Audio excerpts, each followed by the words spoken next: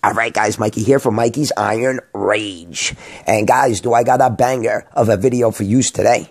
And we're going to do it on the little gremlin, Branch Warren, at the 2006 Arnold Classic. And you guys know, if you've been watching my channel, I always call Branch Warren the little gremlin because he looks like a fucking gremlin.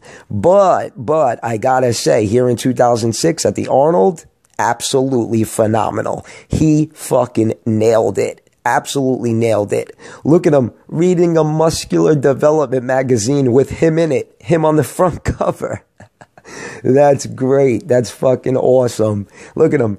Look at him actually reading the magazine. but anyways, guys, let's get into the fucking physique. Look at how perfect this physique is. And you know, Branch Warren comes in dry, granity, granite looking.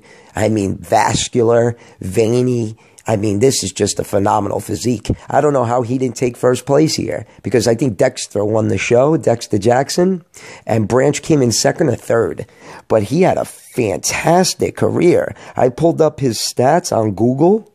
He came into the IFBB in 2005 but he had a lot of first place finishes. 2007 New York Pro. Um, he did the 2011 Arnold Classic, the 2011 British Grand Prix, the 2012 Arnold Classic, 2012 Australian Grand Prix, uh, the 2015 Europa Atlantic City Pro. I mean, this guy's placed first at a lot of shows, a lot of shows. At five foot six, 240 to 245 pounds, that's one big dude. Because five foot six, you shouldn't be over 230.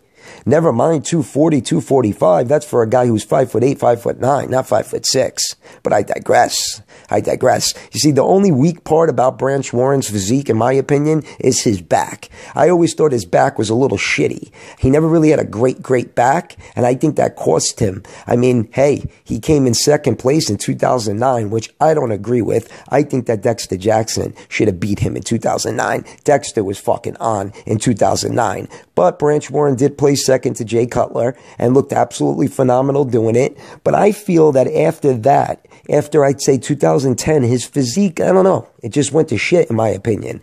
I mean, he won that 2015 show, but after the 2010, after, after 2010 and 2012, he just, I don't know, he just never really had an appealing physique anymore like he did let's say 2006 or 2009 or 2007. Those were great years for Branch. But like I said, guys, his back is just a little weak in my opinion. Otherwise, the hams and glutes are on point. Um, his traps could pop a little bit more, but the hams and glutes are on point and he's got no midsection. And for a guy being that big, with no midsection is unbelievable. So let me know what you guys think about this performance by Branch Warren at the 2006 Arnold Classic. And if you guys like the video, give it a thumbs up. Mikey's Iron Rage. Peace out, guys.